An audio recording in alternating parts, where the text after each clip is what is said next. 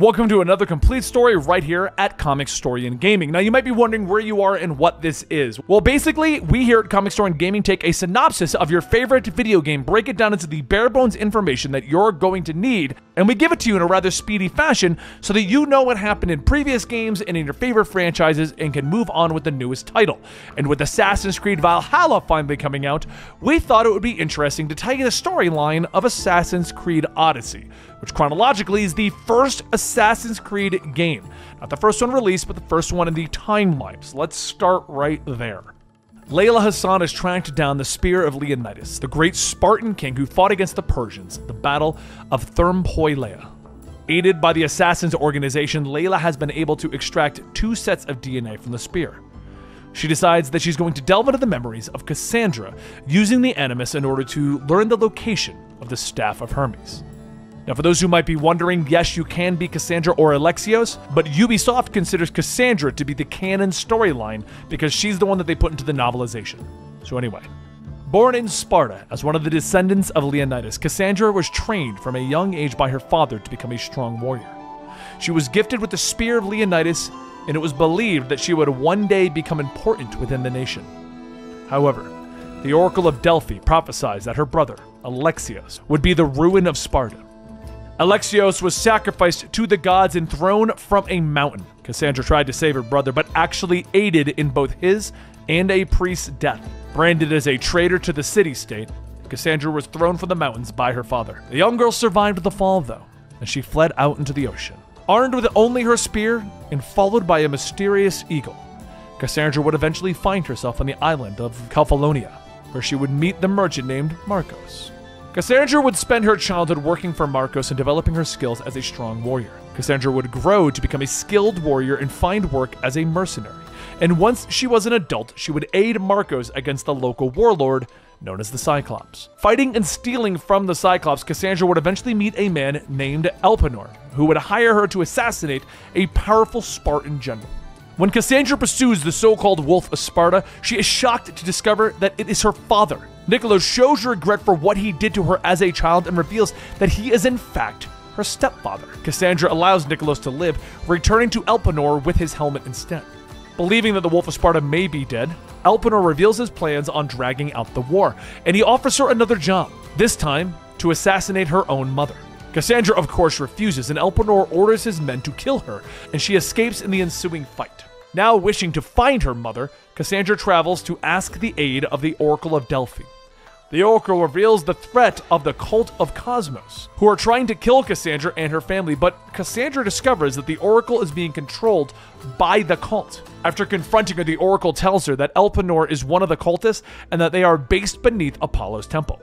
Cassandra confronts Elpenor, killing him and taking his cult uniform as a disguise, along with a strange piece of a pyramid. Traveling beneath the temple, she learns that the cult is trying to take control of Greece and takes part in a strange ritual. The ritual is interrupted, though, as a cult member known as Demonos enters the chamber and claims that there is a traitor amongst them. Each cult member is forced to touch the pyramid, revealing their memories. This is when Cassandra is stunned to discover that Demonos is actually her little brother Alexios. Alexios kills another cult member, covering for his sister. Cassandra and her allies then travel all over Greece, taking part in the war as well as fighting against the forces of the cult. At times, Cassandra is unable to stop her brother, who continues to work for the cult. He assassinates Pericles, who is a political figure working against the cult's and Gauls, and eventually, Cassandra finds her mother, Myrrine, who points her in the direction of her real father. Traveling to the island of Thera, Cassandra discovers a door in an Isu temple. Opening the door with the spear of Leonidas, she discovers her real father. Pythagoras. Pythagoras stands at the entrance of the lost city of Atlantis and explains to Cassandra her heritage. He also tells her that the staff of Hermes has allowed him to live for a very long time. He tells her that his mission is to protect the secrets of the ancient Isu city from mankind, and he sends her on a mission to collect the precursor artifacts so that they can seal the city away forever. Cassandra sets back out over Greece, managing to get revenge for Pericles and convince Alexios to join her once again so that their family could live in happiness. With the cult defeated, Cassandra travels to Greece to hunt down the mythological monsters that guard the artifacts. The Pythagoras needed to seal Atlantis away, and defeating the monsters, she returns to her father. They both activate a message from the precursor known as Aletheia, who tells them that the Isu's power and knowledge were not meant for humans, and will stop them from reaching their full potential. With this task complete, Pythagoras hands his daughter the staff of Hermes, and he passes on. Seeing this, Layla comes out of the Animus having found the location of the lost city of Atlantis, and she and her team use the ship Altair II to travel to the island of Santorini. There, Layla is shocked to discover that Cassandra still lives, kept alive by the staff of Hermes. The ancient Cassandra tells Layla that the world will need the balance of order and chaos in order to survive, and warns that if the Templars or the Assassins ever truly win, the world would end. Before she hands over the staff, Cassandra tells Layla that she is the one who will bring the balance to the world, and she gives her her staff, and she dies in Layla's arms. Layla nods, knowing that there is still much of Cassandra's life and memories that could aid them, and with this knowledge, she decides that she will return to the Animus and continue the journeys of Cassandra's life. As her memories continued, long before she rested in Atlantis, she travels to Macedonia, where she met Darius. Darius acts as an assassin against the Order of the Ancients. The Order is hunting down Darius and his son Natakas, as they see them as tainted ones who will someday destroy the world. Darius and Cassandra work together to kill the Order's huntsman, and with this done, Darius leaves the country with his son. However, Cassandra meets Darius once again when she travels to Achaia. They once again fight against the Order, who are killing Macedonian refugees in an attempt to stop Darius from fleeing. And once again, the group manages to stop the Order and allow the refugees to escape Macedonia. Afterwards, the group decides to live in Macedonia, and Cassandra falls in love with Natakas. And together, they have a son, and they name him Elpidios. Retiring from her life of war and mercenary work, Cassandra settles down to raise her family. But the Order has not given up and they attack the village where the family resides. Killing Natakas and stealing Cassandra's son, Darius and Cassandra travel to Messenia and assault the Order's stronghold. Together, they defeat the Order's current leader and they save Elpidios. Yet, Cassandra knows that her son will never be safe with her. So Darius takes the boy traveling to Egypt. Knowing that she must unlock the secrets of the Staff of Hermes, Cassandra travels to Elysium Fields and meets with the members of the Isu race that the humans worship as gods. Cassandra speaks with Hermes, learning more about his staff while also dealing with the infighting between the gods. Cassandra aids the rebellion of Adonis against Persephone, helping them reach victory. And with this done, Hermes and Cassandra ask that Persephone opens the path between paradise and Hades. After Persephone throws Hermes off a cliff, she reveals that the key to the gate of Hades was on her dog's collar. So she tosses Cassandra the dog and the apple of Eden within. The dog, Rose, is revealed to be Cerberus, the guardian of Hades, and Cassandra is forced to defeat this mighty creature but manages to come out victorious. With Cerberus defeated, she is approached by Hades himself.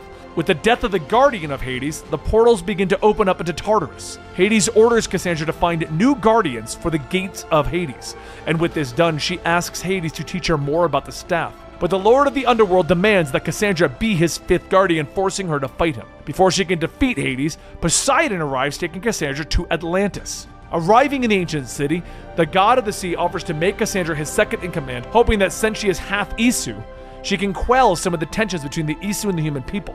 Working in the city to learn more about the staff, Cassandra discovers that some of the Isu have been abducting humans and experimenting on them, creating massive creatures of mythology.